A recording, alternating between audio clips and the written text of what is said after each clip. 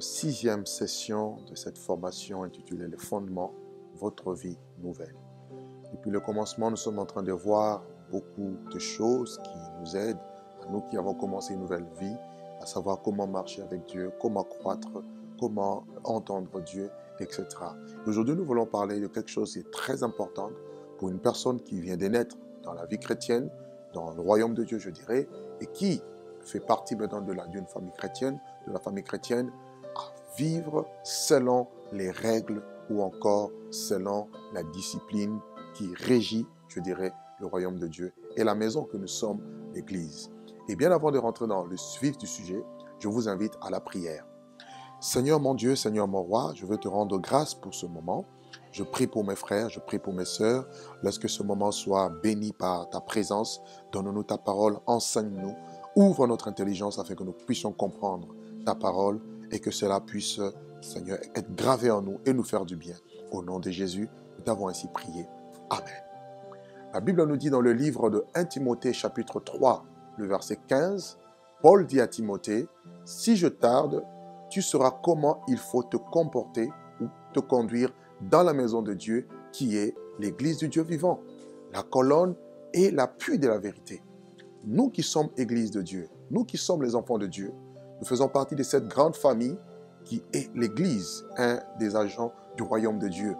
Et pour vivre en harmonie dans cette famille qui, où nous avons Dieu comme étant notre Père, Jésus-Christ comme étant notre grand frère aîné, le Saint-Esprit comme étant notre aide et aussi les frères et sœurs comme étant nos bien-aimés dans le Seigneur, cette grande famille qui nous est donnée, alors il faut qu'il y ait des règles établies, il faut qu'il y ait une discipline afin de maintenir l'ordre et qu'il y ait l'harmonie dans la maison. Bien-aimés dans le Seigneur, là où il n'y a pas l'ordre, là où il n'y a pas la discipline, c'est l'anarchie, c'est n'importe quoi, excusez-moi le terme, et tout le monde, chacun fait ce qu'il veut, et cela ne peut amener que la frustration et le désordre. Alors, Dieu étant un Dieu d'ordre, il est dit dans 1 Corinthiens au chapitre 14, le verset 30, que Dieu n'est pas un Dieu de désordre, mais un Dieu de paix. Pour que la paix règne, il faut qu'il y ait l'ordre. Là où il n'y a pas de paix, il y aura aussi le désordre. Alors vous devez comprendre que vous, êtes, vous faites partie de la nouvelle famille de Dieu et vous avez besoin de connaître les règles de la maison qui est l'Église. Quelles sont les attentes du Seigneur? Quelles sont les règles que les pères, je dirais que nos parents ont établies pour que nous puissions vivre en harmonie? Je donne toujours un exemple dans la vie, euh, dans la vie courante. Un enfant qui vient dans le monde et qui va commencer à grandir, il va faire ses premiers pas, il va certainement vouloir faire des bêtises. Et si les parents ne fixent pas les règles de conduite pour l'enfant, cet enfant-là n'aura pas une bonne éducation. Il aura une très mauvaise éducation et cet enfant fera n'importe quoi. Ça sera l'anarchie. Ainsi, il y a le même que dans la, dans la famille de Dieu. Lorsque nous venons, il faut qu'il y ait des règles. Vous qui venez de commencer votre marche avec le Seigneur, vous devez savoir qu'on ne fait pas ce que l'on veut, mais l'on doit, doit, faire ce que Dieu veut que nous puissions, euh, que, veut que nous puissions faire. Ainsi, les règles vont vous donner un objectif clair dans la vie. Ainsi, les règles vont vous canaliser. Ainsi, les règles vont vous discipliner. Ainsi, les règles vont vous aider à bien vous orienter. Ainsi, les règles vont vous amener aussi à ressembler au Père. Parce que si moi, j'interdis à mon enfant de mentir, c'est parce que je ne mens pas. Si j'interdis à mon enfant de ne pas voler, c'est parce que je ne vole pas. Et mon but, c'est que l'enfant puisse me ressembler. Et c'est de la même manière. Dieu veut que ses enfants puissent ressembler au Père qui est Dieu. Ainsi, il veut que nous puissions connaître ces règles. Parce que si on ne connaît pas les règles, comment pourrons-nous les mettre en pratique? Il faut les connaître et il faut les connaître très tôt, à, l'aube même, au premier jour, euh, je dirais, de sa marche chrétienne, connaître ces choses qui vont nous aider à croître dans les voies du Seigneur. Donc Dieu a des attentes, Dieu a des exigences. Alors dans cette leçon, nous allons voir déjà qui est celui qui établit les règles. Ça, c'est la première question que nous allons poser. Deuxièmement, nous allons poser cette question, comment ou où pouvez-vous trouver ces règles? Comment savoir que ce sont les règles que Dieu a établies? Troisièmement, c'est comment pouvez-vous vous conformer aux règles que le Seigneur établit? Et enfin, nous parlerons de comment euh, réussir, bien évidemment, sa marche chrétienne. Pour réussir la marche chrétienne, bien aimé, il faut savoir qu'il y a des règles. La vie chrétienne est aussi comparée à une course. Récemment, nous avons vu, nous avons parlé de la marche chrétienne. Mais cette marche chrétienne est aussi comparée à une course. Et en tant que euh, participants de cette course, nous sommes censés être, nous sommes appelés comme des athlètes qui courons comme dans un stade. Il est dit dans le livre Hébreu au chapitre 12, laissez-moi prendre euh, cela avec vous, Hébreu chapitre 12, le verset 1er au verset 2, Hébreu 12, le verset 1er au verset 2, il est dit ceci, nous donc aussi, puisque nous sommes environnés d'une si grande nuée de témoins, rejetons tout fardeau et le péché qui nous enveloppe si facilement et courons avec persévérance dans la carrière qui nous est ouverte. Donc nous sommes appelés à courir dans cette carrière qui nous est ouverte, ayant le regard sur Jésus, qui le chef, qui est le chef et le consommateur de la foi, en vue de la joie qui lui était réservée. Il a souffert la croix, méprisé l'ignominie, et il s'est assis à la droite du trône de Dieu. Courons dans cette carrière. La vie chrétienne est une vie de course. Donc, si nous parlons de course, nous sommes aussi comparés aux athlètes qui sont appelés à courir dans ce stade. 1 Corinthiens chapitre 9 nous dit quelque chose de très important à partir du verset 29, 24. Pardon. 1 Corinthiens chapitre 9 à partir du verset 24, il est dit, ne savez-vous pas que tous ceux qui courent dans les stades courent tous, mais qu'un seul remporte le prix? Courez de manière à le remporter car tous ceux qui combattent s'imposent toute espèce d'abstinence, euh, euh, euh, et s'ils le font, ils le font pour obtenir une couronne corruptible. Mais nous faisons-le pour obtenir une couronne incorruptible. Moi donc je cours, non pas comme à l'aventure, et je frappe, non pas comme battant l'air. Il dit, mais je traite durement mon corps, je le tiens assujetti de peur d'être moi-même rejeté ou encore désapprouvé après avoir prêché aux autres. Paul ici se compare à un athlète, à un combattant, à celui qui court dans la carrière, dans cette vie chrétienne. Et il s'impose toutes sortes d'abstinences, toutes sortes de règles. Dans une course, il y a des règles. Et si on ne suit pas les règles, on n'atteindra pas l'objectif. Si dans la vie chrétienne, vous n'avez pas des règles ou on ne vous donne pas les règles à suivre, vous allez échouer, vous allez risquer de perdre la foi. Comme aujourd'hui, beaucoup perdent la foi parce qu'ils n'ont pas eu de bons fondements. Dans 2 Timothée chapitre 2, regardez ce que Paul dit. 2 Timothée chapitre 2, le verset 5, il dit, l'athlète n'est pas couronné s'il n'a pas combattu suivant les règles. Donc si on est athlète, il y a aussi des règles. Si on est appelé à courir, à marcher, il y a aussi des règles. Et dans la famille chrétienne, dans l'Église, il y a des règles que nous sommes appelés à observer, à pratiquer pour avoir une vie chrétienne épanouie, un ministère réussi et qui ne va pas s'effondrer. Alors, la première question que nous voulons nous poser, qui est celui qui établit les règles? Dans une maison, la personne qui établit les règles, c'est le chef de la maison, c'est-à-dire le père. C'est le père qui donne des règles, qui donne la ligne de conduite pour tout le monde. Ainsi, les aînés sont obligés de, respecter les règles. Autrement dit, ils donneront un mauvais exemple à ceux-là qui viennent après. Donc, il faut que nous puissions observer quelles sont les règles que Dieu, en tant que notre Père, nous a établies, mais aussi, lorsque vous êtes dans une assemblée locale, que le Père spirituel, le leader, l'ange de la maison que Dieu a établi, a aussi établi suivant la révélation qu'il a de Dieu par rapport au travail que Dieu lui a donné à faire. Autrement dit, on sera en, conflit ou en contradiction et cela peut nous amener non seulement la correction, mais aussi la punition. Dieu en tant que Père, la Bible nous dit qu'il punit aussi. Il châtie tout enfant qui désobéit aux règles qui sont établies. Alors prenez encore avec moi Hébreu chapitre 12. Hébreu chapitre 12, nous prenons à partir du verset 5. La Bible dit, et vous, et vous avez oublié l'exhortation qui vous a été adressée comme à des fils. Mon fils, ne méprise pas le châtiment du Seigneur et ne perds pas courage lorsqu'il te reprend. Car le Seigneur châtie ou encore punit celui qu'il aime et, et frappe de la verge tout ce qu'il reconnaît pour ses fils. Donc si tu es un fils dans la maison du Père, dans l'Église, tu dois aussi t'attendre à un châtiment, mais le châtiment vient en cas de désobéissance. On ne peut pas châtier un enfant qui est obéissant. Voyez-vous? Pourquoi on dit qu'on est obéissant? Pourquoi on dit qu'on est désobéissant? C'est par rapport aux règles qui sont établies. Donc, je respecte les règles, je n'ai pas besoin d'être châtié. Mais je désobéis aux règles, le châtiment euh, euh, me sera infligé. Et regardez la suite. Il dit, supportez le châtiment, c'est comme des fils que Dieu vous traite. Car quel est le fils qu'un père ne châtie pas? Et si vous êtes exempt de châtiment auquel tous ont part, vous êtes donc des enfants illégitimes et non des fils. D'ailleurs, puisque nos pères, selon la chair, nous ont châtiés et que nous les avons respectés, ne devons-nous pas, à bien plus forte raison, nous soumettre au Père des esprits pour avoir la vie? Nos pères nous châtient, nous châtiaient pour un peu de jours, comme ils le trouvaient bon. Mais Dieu nous châtie pour notre bien, afin que nous participions à sa sainteté. Amen.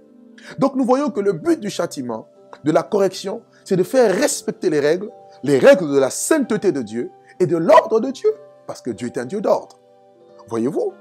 Ainsi, si on te châtie, si Dieu te châtie, si un père spirituel te châtie, sache que tu as mal fait et il a pour but simplement de te ramener à la raison pour que tu fasses ce qui est bien. Et quand tu fais ce qui est bien, tu réjouis son cœur et tu participes à sa gloire. Bien-aimé dans le Seigneur, voilà le but des règles. Dieu ne met pas les règles en place pour nous faire du mal. Au contraire, c'est pour nous faire participer à sa sainteté. Vous vous imaginez un enfant qu'on va attraper dans la drogue, qui sera mis en prison Qui aura honte? Aussi bien l'enfant, mais beaucoup plus le père. Parce qu'on dira, cet enfant n'a pas eu une bonne éducation de la part de ses parents. De la même manière, Dieu tient à nous la raison pour laquelle il nous châtie pour que nous puissions être, bien évidemment, dans ses voies, que nous puissions craindre son nom. Donc, le Père établit les règles, comment les enfants doivent se conduire, comme, comment les enfants doivent se comporter.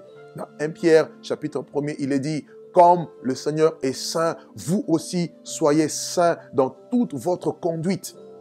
Vous devez apprendre à plaire à Dieu et à être saint dans votre marche, dans votre conduite, dans vos pensées, dans vos paroles, dans vos actes, dans vos attitudes, dans votre manière de vous comporter car cela va de l'honneur ou encore du déshonneur du Seigneur. Alors prenez encore avec moi 1 Thessaloniciens chapitre 4.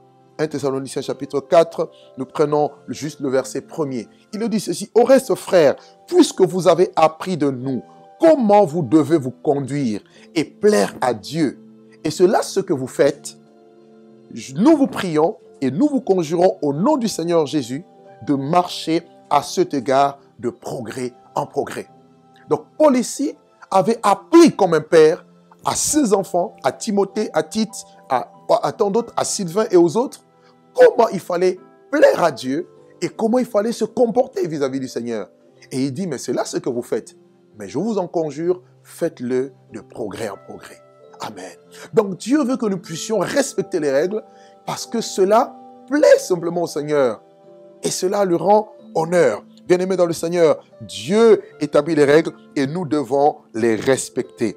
Ce ne sont pas les enfants qui dirigent, ce ne sont pas les enfants qui établissent les règles dans une maison, c'est encore moins les voisins qui établissent les règles dans une maison, mais c'est le père de la maison qui établit les règles pour la maison. Et nous verrons à la fin de ces sessions comment ou quelles sont les règles aussi pour nous, pour notre famille, cette résurrection qui fait partie de l'arche de l'alliance. Comment, quelles sont les règles que nous devons, que nous sommes appelés aussi à respecter pour la bonne tenue, pour l'image de notre Seigneur et aussi du visionnaire et enfin pour la gloire de notre Dieu. Car là où il n'y a pas de règles, là où il n'y a pas de discipline, c'est l'anarchie, c'est le désordre. Et Dieu ne travaille jamais dans le désordre. Le désordre amène justement la licence et amène une perte de vision.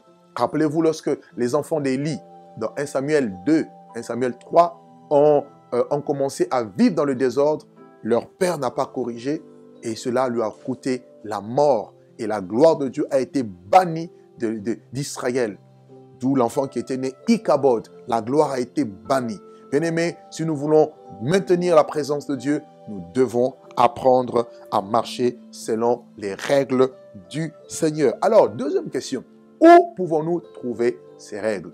Comment savoir que nous sommes ou nous respectons les règles de Dieu qui vont nous aider à avancer? La réponse est claire. Nous ne pouvons que observer déjà la vie de Jésus. La vie de Jésus pour nous, sa manière de vivre, et pour nous qui sommes ses enfants, ses disciples, un enseignement. Nous voyons comment est-ce que Jésus était soumis à son Père. Nous voyons comment est-ce que Jésus-Christ honorait son Père. Nous voyons comment est-ce que Jésus-Christ respectait les gens.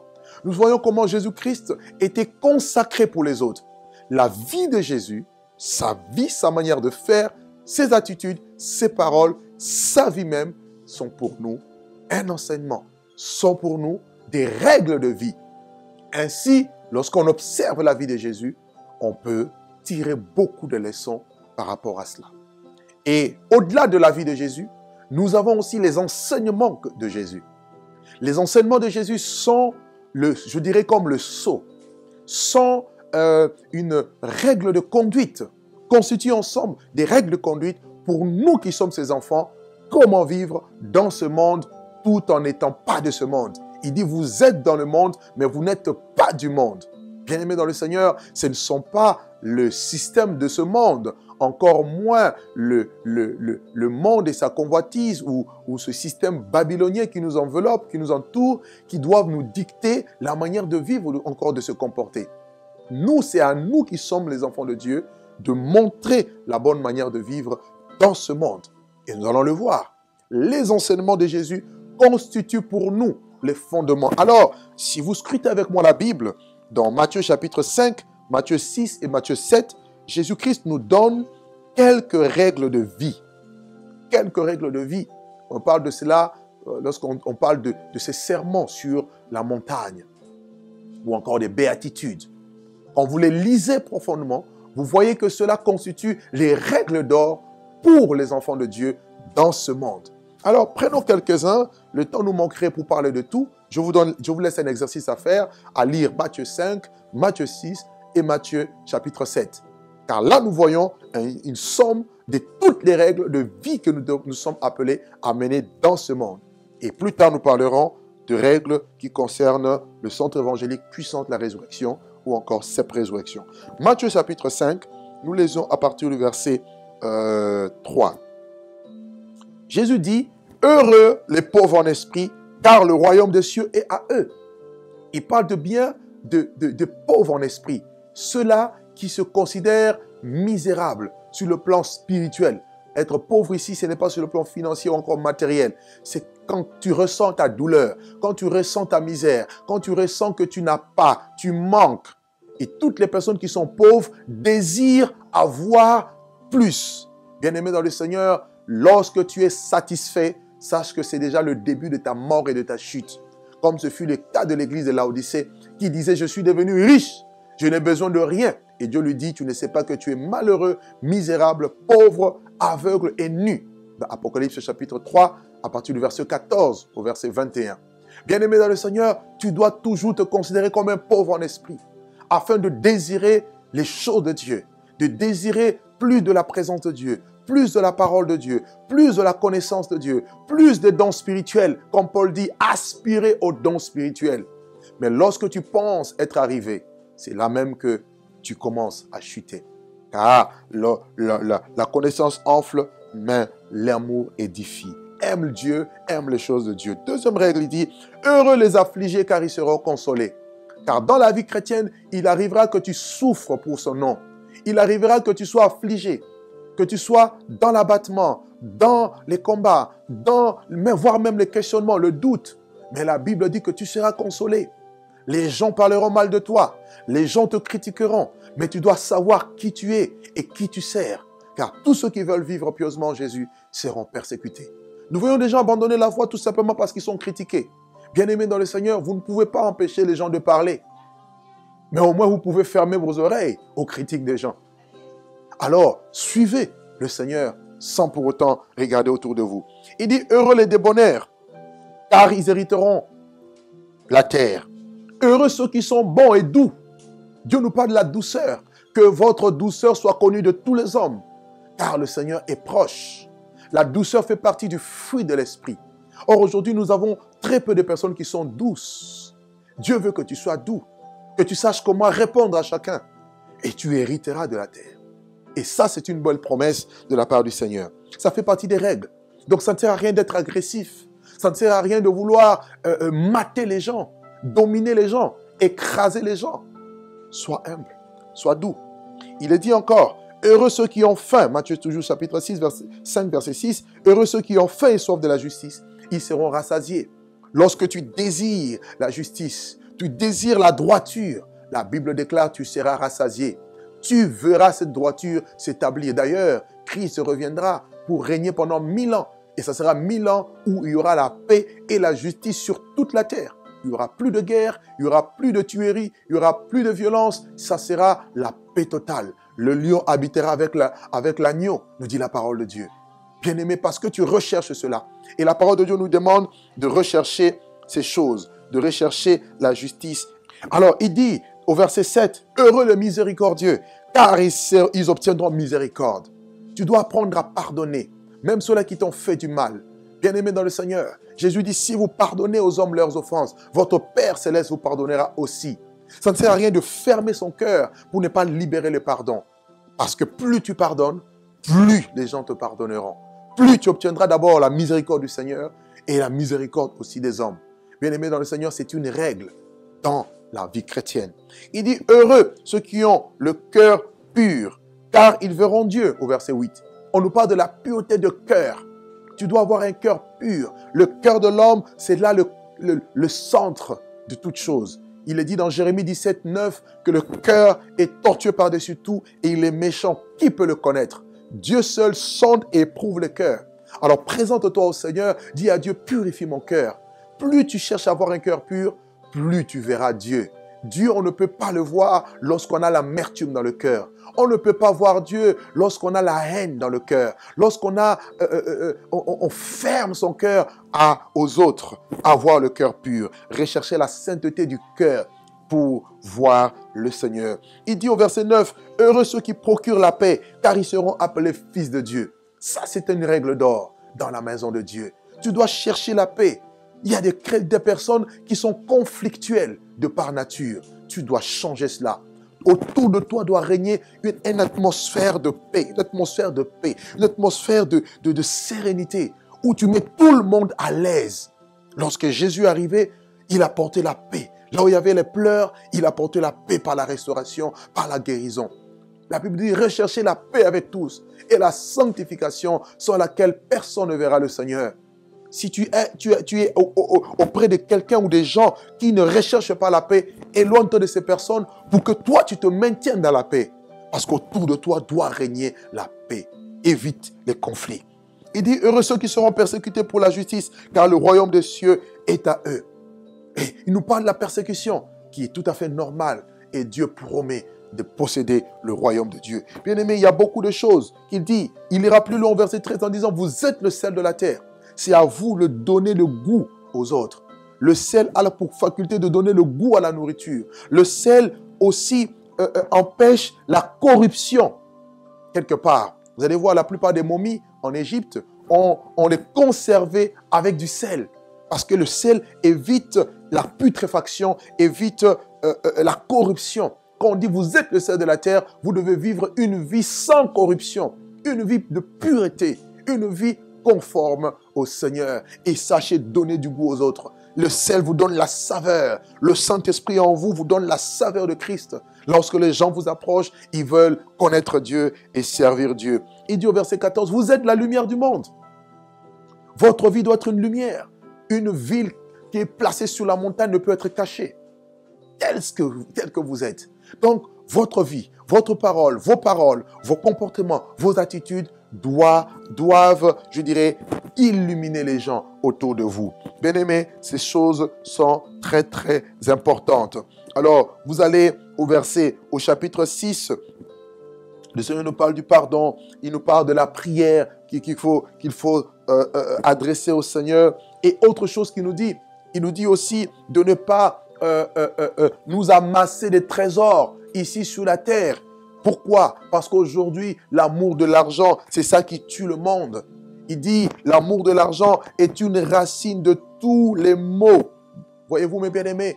Il dit aussi, ne vous amassez pas, au verset 19, Matthieu 6, 19, ne vous amassez pas des trésors sur la terre, où la teigne et la rouille détruisent et où le voleur perd ses deux robes. Mais amassez-vous des trésors dans le ciel, où la teigne et la rouille ne détruisent point, et où les voleurs ne percent ni ne dérobent. Car là où est ton trésor, là aussi sera ton cœur.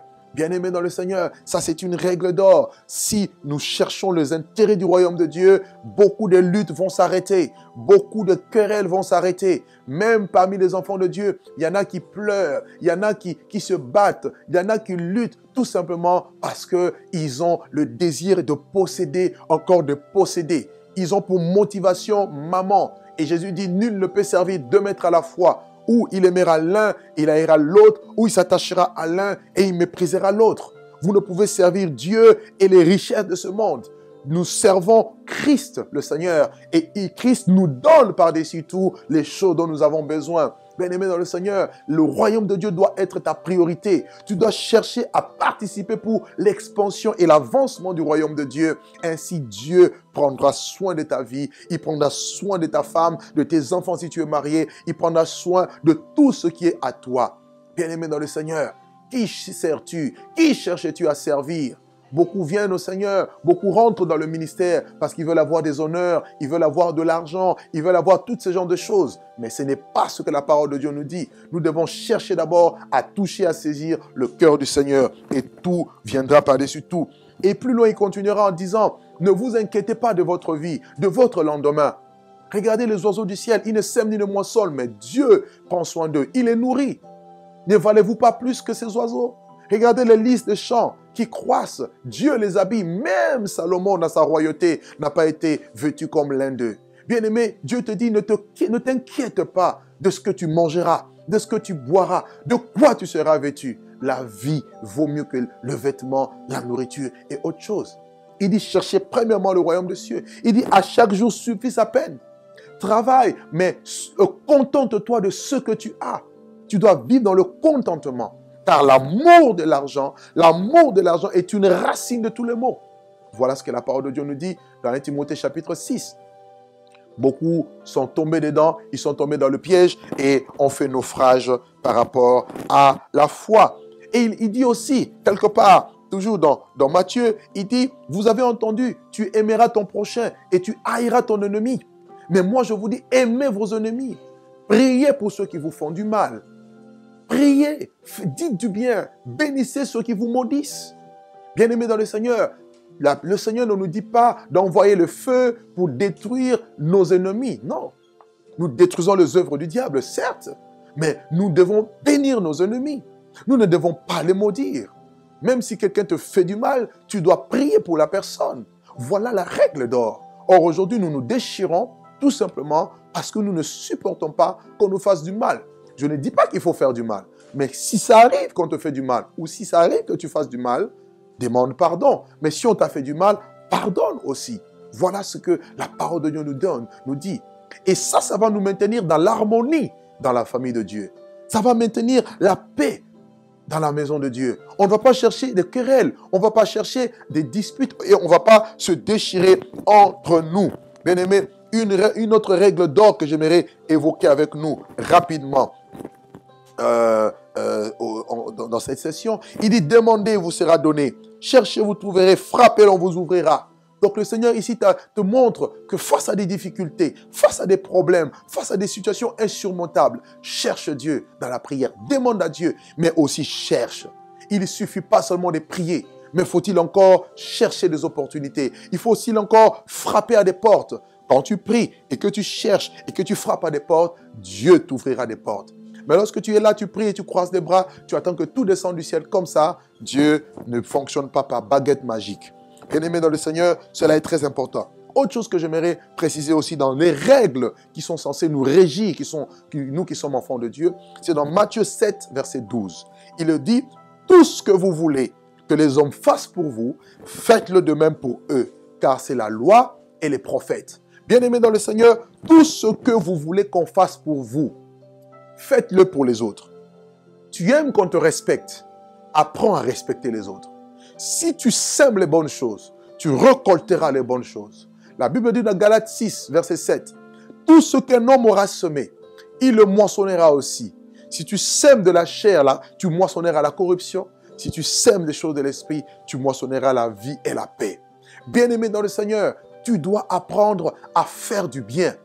Ne fais pas du mal même à ceux-là qui t'ont fait du mal. Dans ma vie, j'ai rencontré des gens qui m'ont fait du mal. Mais je me suis efforcé à faire du bien, même si cela n'est pas facile. Mais la Bible dit, ne, rendez à personne le mal pour le mal, mais plutôt faites le bien. Regardez un peu avec moi un texte dans le livre de Romains au chapitre 12. Romains chapitre 12, le verset euh, 17 euh, au verset 21. Il est dit, ne rendez à personne le mal pour le mal, mais recherchez ce qui est bien devant tous les hommes. Dieu veut que tu fasses ce qui est bien. Non, je veux me comporter comme ça parce qu'elle m'a mal parlé, parce qu'elle m'a pas dit bonjour, parce qu'il m'a fait ceci, parce qu'il m'a fait cela. Ok. Mais toi, tu ne dois pas réagir. Mais toi, tu dois agir. La personne te fait du mal, toi ne réagis pas, toi agis en lui faisant du bien. Et c'est ainsi que tu seras fils de Dieu. Ne fais pas le mal, ne rends pas le mal pour le mal, mais recherche ce qui est bien devant tous les hommes. Il est dit, s'il est possible, autant que cela dépend de vous, soyez en paix avec tous les hommes. Si cela est possible, si cela est dans ta capacité, dans tes forces, dans tes moyens, sois en paix avec tous les hommes. Si tu vois que quelqu'un est conflictuel, tu peux te séparer. Ne sois pas dans la zone de, euh, je dirais, d'influence de cette personne. Tu vas te préserver et tu resteras en paix. Voilà ce que la parole de Dieu dit. Il dit aussi, ne vous vengez point vous-même, bien-aimés, mais laissez agir la colère, car il est écrit, à moi la vengeance, à moi la rétribution, dit le Seigneur. Donc Dieu ne te demande pas de te venger. Ah, puisqu'il m'a fait ceci, je vais lui faire cela. Je veux aussi le voir, le faire voir de quel bois je me chauffe. Bien aimé, ça, ce n'est pas la mentalité du royaume de Dieu il dit, si ton ennemi a faim, donne-lui à manger. S'il a, oh, il a, il a soif, donne-lui à boire. Car en agissant ainsi, ce sont des charbons ardents que tu amasses, amasseras sur sa tête. Il, il conclut en disant, ne te laisse pas vaincre par le mal, mais surmonte le mal par le bien. Ce que vous voulez que les gens fassent pour vous, faites-le de même pour eux. Apprends à faire le bien. Apprends à faire les bonnes choses et à dire les bonnes choses. Bien-aimé, pour conclure ce moment, je veux nous amener à prendre Matthieu chapitre 7, le verset, à partir du verset 21. Et là, nous voyons la conclusion. Pourquoi ces règles sont-elles importantes? Cela vont commencer, ces règles vont commencer à façonner vos pensées. C'est-à-dire, elle va renouveler d'abord vos pensées, elle va renouveler vos paroles et ensuite, ça va renouveler vos actes. Parce que nos actes sont les conséquences de nos paroles et nos, les paroles sont les conséquences de nos pensées. Dans Matthieu 12, il est dit, c'est de l'abondance du cœur que la bouche parle. Lorsque vous entendez quelqu'un parler, ce qu'il dit, ce qu'il déclare de sa bouche, c'est ce qu'il y a dans son cœur. Et ce qu'il déclare dans sa bouche, c'est ça qui va, euh, euh, je dirais, entraîner ou euh, influencer ses actes ou encore ses actions. Bien-aimés, nous devons avoir des pensées pures et nous devons veiller sur ce qui sort de notre bouche. Par nos bouches, nous serons condamnés. Par nos bouches, par nos paroles, pardon, nous serons condamnés. Par nos paroles, nous serons justifiés. Sémons les bonnes choses et agissons d'une manière digne des enfants de Dieu en suivant les règles du Seigneur. Bien-aimés, lorsque vous mettez ces choses en pratique, je le précise encore, il ne suffit pas de les connaître, il ne suffit pas de les savoir, mais il faut-il encore les mettre en pratique? Vous allez voir que vous allez bâtir votre vie non sur du sable, mais sur le roc. Matthieu 7, verset 4, il est dit, c'est pourquoi quiconque entend ces paroles que je dis et le met en pratique sera semblable à un homme prudent qui a bâti sa maison sur le roc. La parole de Dieu, c'est le roc bien-aimés dans le Seigneur, la pluie est tombée, les vents sont venus, plutôt les torrents sont venus, les vents ont soufflé et se sont jetés contre cette maison. Elle n'est point tombée parce qu'elle était fondée sur le roc. Mais quiconque entend les paroles que je dis et ne les met pas en pratique sera semblable à un insensé qui a bâti sa maison sur du sable. La pluie est tombée, les vents sont venus, les, les torrents sont venus, les vents ont soufflé et ont battu cette maison et elle est tombée et sa ruine a été grande. Bien aimé, la différence, ce n'est pas la maison qui est bâtie. La différence, c'est le fondement de la maison qui se bâtit. Le fondement de ta vie. Tu suis les règles, tu bâtis ta vie sur le roc. Tu bâtis tes pensées, tes paroles et tes actes sur le roc. Et la maison que tu es, l'église que tu es, l'enfant de Dieu que tu es, tu ne perdras jamais la foi. Tu arriveras jusqu'au bout. Mais si tu ne mets pas ces choses en pratique, qui sont les règles d'ordre, quand je, vous ai présenté au travers de cette session, vous ne pouvez pas voir ces choses s'accomplir dans votre vie et vous risquez de vous écrouler. La ruine sera grande. Bien aimé, il ne suffit pas de commencer la vie chrétienne, il suffit plutôt de terminer avec succès. Car la fin d'une chose vaut mieux que son commencement. Que Dieu vous bénisse dans le nom de Jésus. Je vous invite à la prière. Père, nous prions au nom de Jésus pour ce message, que cela puisse être gravé dans nos cœurs afin que nous puissions appliquer cela. Aide-nous, Seigneur, renouvelle nos pensées, notre intelligence, afin de discerner ta volonté. Au nom de Jésus, notre Seigneur et Sauveur, le Roi qui vient, nous t'avons ainsi prié. Amen.